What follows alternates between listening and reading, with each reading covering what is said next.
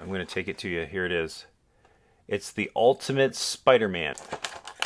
And as you can see here, there's a couple different games. Bank Strike, Arcades Playland, Building Blaze, Comic Book Shuffle, Incendiary Antics.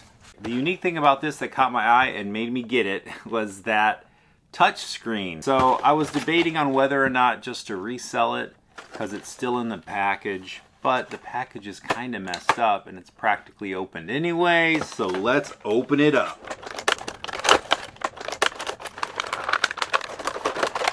see what we got going on here. This is TV Games Touch.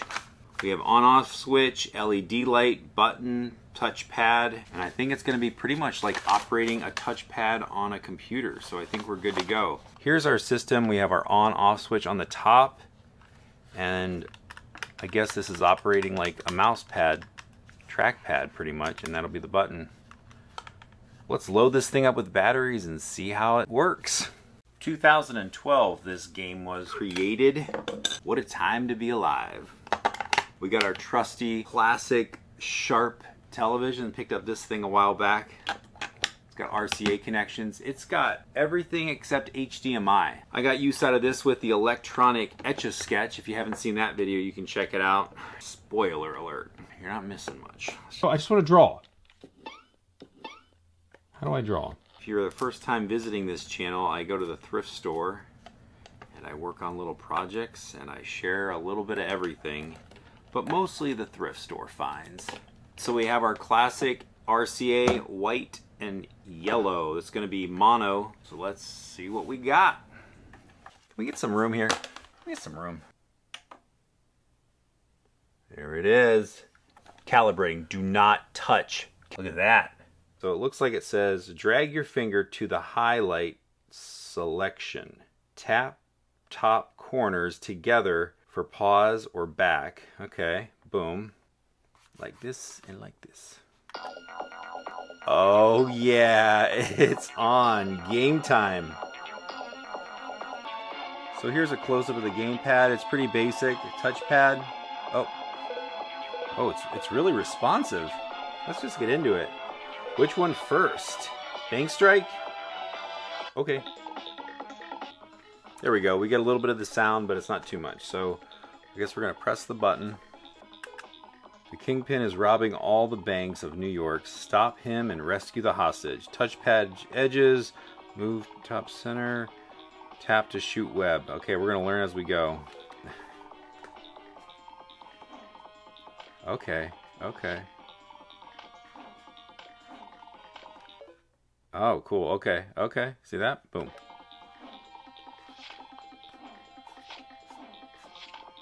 Okay, it shoots. If you've ever played Spider-Man on the uh, Game Boy,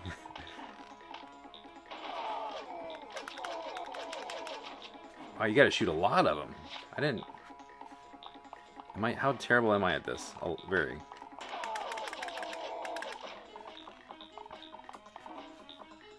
Oh my gosh, I gotta rescue them. I don't know how to... Am I out of web? That's how I crawl. I keep wanting to hit like buttons up here. There aren't any. There we go. I want him to jump higher.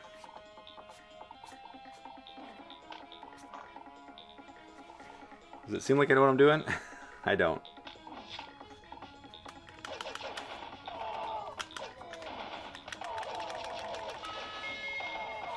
Go back, try one of the other games. This is actually pretty cool. I mean, it's just a matter of understanding the controls and knowing that it's not a computer. Incendiary, and I can't say that, incendiary antics. Oh, I like that. Look at that. It's different.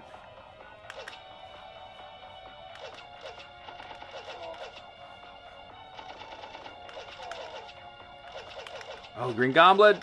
Ah, I get it. It's kind of funny because it's like he has guns, but not really. Okay, I got it now. You gotta do it kind of like this. Uh oh, pumpkin. Get it. Hey, this is my first time playing. Give me a break. I can see where your hands can kind of get cramped up. You can kind of see I'm working. I'm sure there's probably a more comfortable way to do this. Man, too bad this isn't like a point and shoot like that.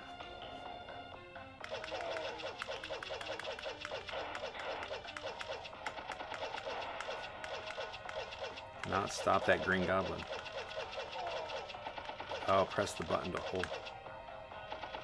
Smart, you see that?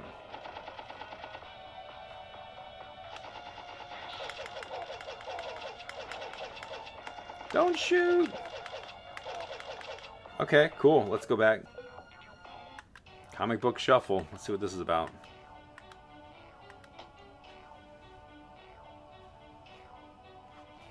Gosh, I don't know what. Okay, I should have read maybe the directions. Oh, okay, okay, okay. Okay, okay, we're getting somewhere. There we go. There we go. We're getting something. Boom. It's like Tetris, but more difficult and less fun. we got the idea of that game. Let's go to the next one. Come on. Come on. I'll tell you, you this isn't uh this has a little bit of a texture to it and it does kind of had a little battery issue. I don't know where that cut off, but depending on where that was, we got the idea of that game. Let's go to the next one. Building Blaze.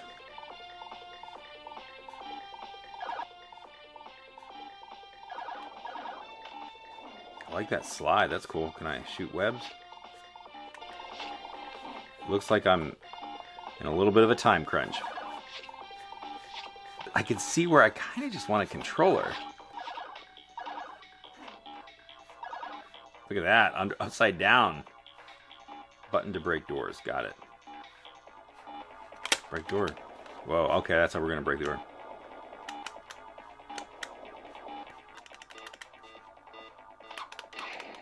That's how you do it. And that killed me, so there you go. Alright, let's try a different one. Arcade Playland. Oh, look, top down. What the heck? Weird, weird.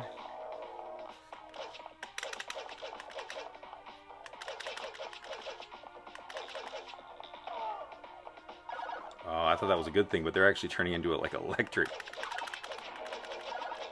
And I feel like I could crush this if this was a real regular controller.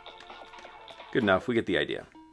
So there you go. That's pretty neat. There's definitely like some nice options all revolving around the Spider-Man world.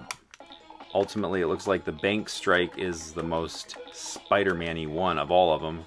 We're actually moving through slinging webs and running and helping people. Classic Spider-Man. Yeah, I could totally have a lot more control with a controller. Look at that, I'm going crazy. That was, I'm getting better, at least. as soon as I say that. All right, I think we get the idea. Very cool. It's high scores, and I guess as long as the battery's in there, it'll save everything. Ultimate Spider-Man TV Games Touch. For a plug and play, this is really unique game, and now I'm curious to check out to see if there were some other designs that were made with this same touchpad feature. Pretty unique, not the most ergonomic to hold, but once you get the hang of it, it is a, definitely a, a, unique experience. And I really like that each one of these games offers a different use of the touchpad. So it's not just different levels of the same type of game, but completely different gameplay. So it gives some variety for this little plug and play action packed Spider Man game.